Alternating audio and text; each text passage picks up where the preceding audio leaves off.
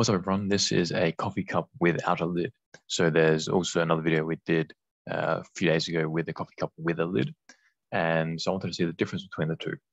And first up, we have the streamlines. And already if you look, if you compare that video to this video, you see that these streamlines are actually more well behaved for some reason. I, I, I sort of expected the opposite because the coffee cup with a lid is kind of a closed shape, whereas it has obviously the opening at the top. But these streamlines are quite more um, well behaved in that they're not as chaotic. And we can come around and we see that really the only thing that um, happens is you have this major roll up. So obviously there's some sort of low pressure there that's bringing all this fluid in and it's rolling up around. And interestingly, the streamlines over the top. So this top is open, but there's no streamlines going in as you might expect perhaps.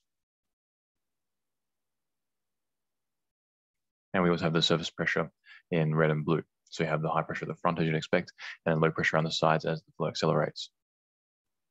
So I wanted to see what the flow inside the cup was do doing, so the air. So I put streamlines in here, quite a lot of them, and I wanted to see where they where this air goes. And we can rotate around and you can see that it doesn't really come out of the cup at all. It just keeps circulating up and down. So what I think is happening is you have the flow going over the top of the cup, and this is creating some sort of low pressure which then dredges up the fluid from maybe the, from the bottom of the cup, and then it just comes up and circulates around keeps going like that. But none actually comes out.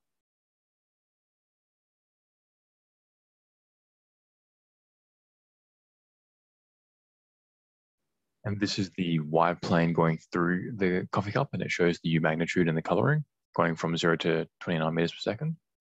And as we go through the coffee cup, we get a similar sort of um, pattern as with the coffee cup with the lid, except it's maybe a little bit uh, smaller in the wake here, it seems, perhaps. But interestingly, there's a bit of, I think, a bit of a vortex happening just around the top lip here. But inside, you can see this blue region. So it shows that the velocity inside the cup is very little. So there's not really much flow being entrained or being sucked out, as you may expect. Right, so make sure to check out all the all the instruments that we make here at Aerodynamics. Check out the courses we put on to make you a better analysis, and check out the International Aerodynamics Conference we put on every year for aerodynamicists to get together and talk about what we love, aerodynamics. Peace out.